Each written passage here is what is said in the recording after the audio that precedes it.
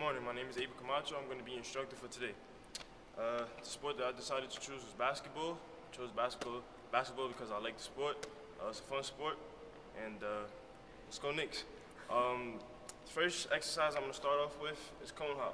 It's called the cone hop. Wait, before you do your exercises, you must warm up.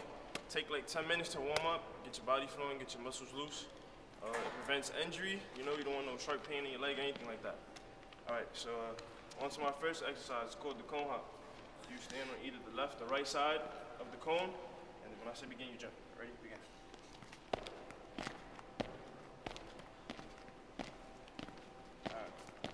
You can do that for about 20 seconds, back and forth. Uh, this drill helps you with your vertical ability, your vertical jumping ability, and your focus.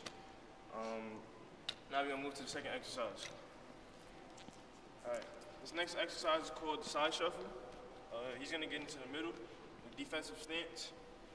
All right. He's gonna move from right to left, back and forth for about 20 seconds. Ready? Begin.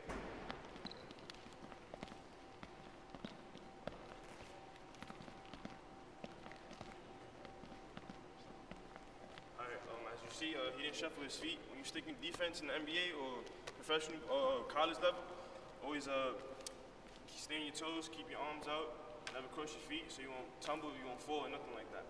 Um, you know, it's very important to stay in front of your opponent. You know, you always gotta, you always want to force a turnover and get a steal or something like that. All right, my next drill, I call this the T drill. He's gonna sprint forward, side shuffle to the right, side shuffle to the left, get back to the middle, make a sharp turn, and sprint forward. All right, ready? Begin.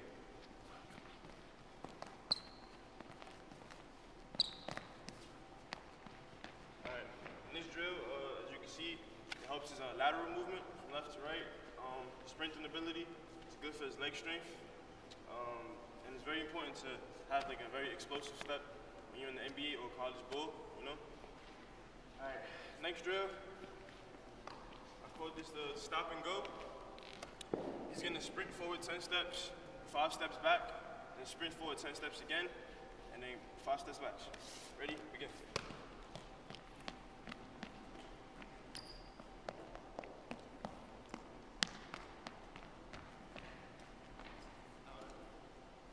Alright. As you can see, um, that helps to stop and go acceleration. When you're in the NBA, you know, you're running up and down the court.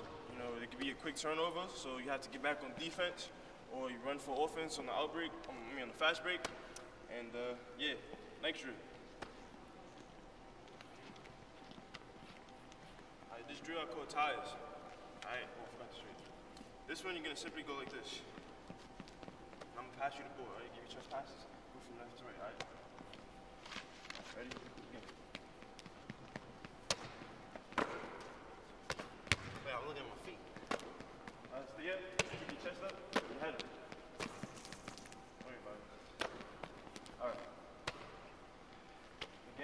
His lateral movement, his focus.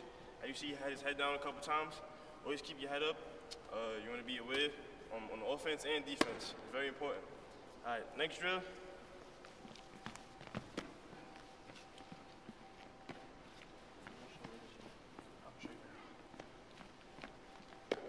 Call this one the.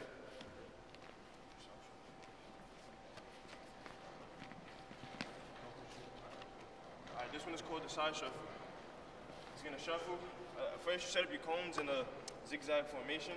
Alright, uh, he's gonna be able to side shuffle from left to right. Alright, because sometimes, you know, position, when you stick in defense, it changes, alright? Ready? Defense, go.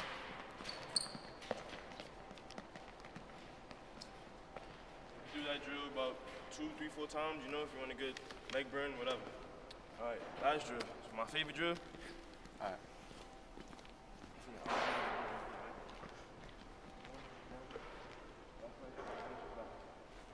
Ready? Begin. I'm gonna do it again. Run that back one more time.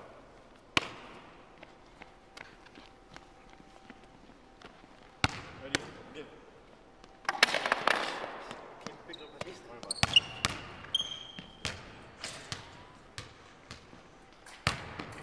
It's finished. Alright, as you see, uh, that drill works on a little bit of everything. Um, vertical jumping ability, ball handling, explosiveness to the basket. Very important in the NBA, college level. Um, and uh, to conclude, I hope that you uh, enjoyed the video. Uh, it was nice working with you guys.